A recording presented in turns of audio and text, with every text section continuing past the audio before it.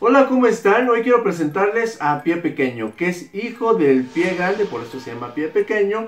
Y quiero hacer un jueguito con todos ustedes. Desde este video y durante todo el 2018, dentro de mis videos, voy a esconder a Pie Pequeño.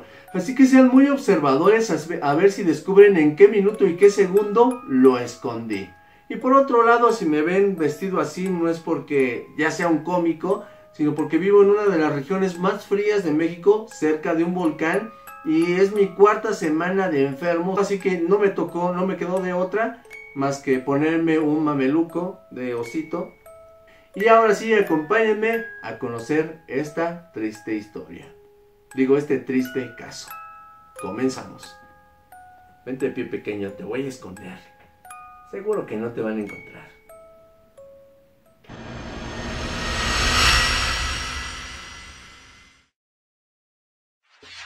Tiene unos días que comenzó a circular este video sobre unas extrañas criaturas descubiertas en un ático en la India.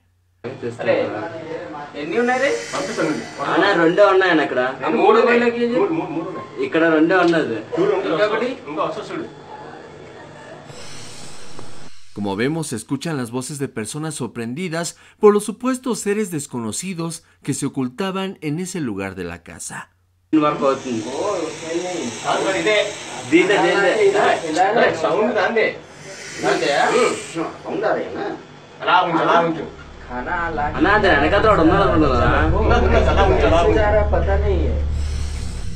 Podría describir qué estamos viendo, pero no creo que haya necesidad.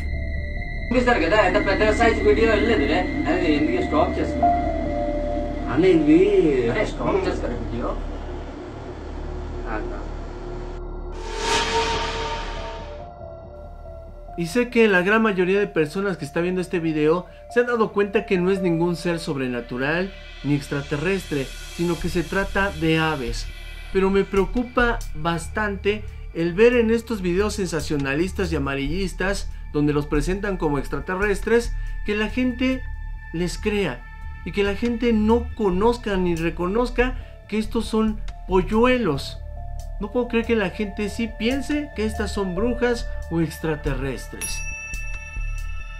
Eso habla mucho de la ignorancia que tenemos sobre nuestra fauna y por lo mismo la gente comete crímenes contra los animales, al matarlos, quemarlos o apedrearlos, al pensar que se tratan de brujas, duendes o en este caso de extraterrestres.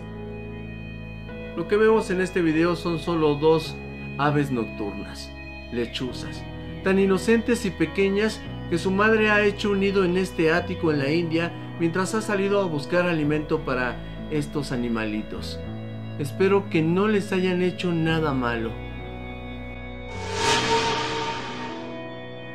Esto me hizo recordar que apenas hace unos meses, explorando un cerro en busca de pinturas rupestres, encontré uno de estos animalitos a ras de piso.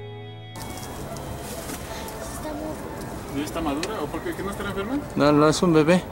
Se ven las plumas. La gente dice que estos animalitos son las brujas.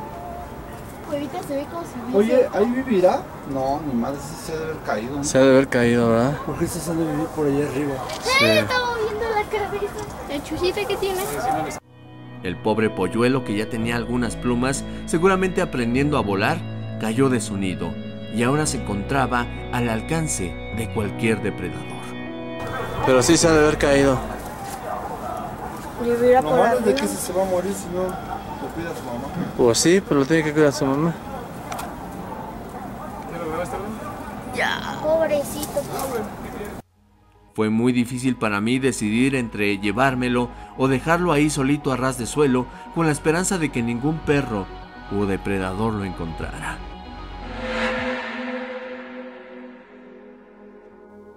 Es increíble que haya gente que aún trate de sobrenatural a muchos animales. Debemos cuidar a las lechuzas, ya que éstas se encargan de comerse a las ratas por las noches y así equilibrar la población de estas. Sin las lechuzas, los gatos y otros depredadores de las ratas, estas podrían multiplicarse tanto que pudiéramos sufrir una invasión de ratas. ¿Se imaginan? Compartan el video para que aquellas personas ignorantes que no sabían que estos animalitos eran lechuzas y no extraterrestres, conozcan la verdad. Por favor también recomienden el canal y denle like si ustedes sí sabían que eran lechuzas. Espero hayan encontrado en todo el video donde escondí a pie pequeño. Mi nombre es Oxlack Castro y recuerden que los espero en el siguiente video. Hasta la próxima. En la cajita de comentarios, déjenme su opinión sobre las personas que aún creen que estos animalitos son brujas o extraterrestres. Y también díganme si pudieron encontrar dónde dejé oculto a pie pequeño en el video.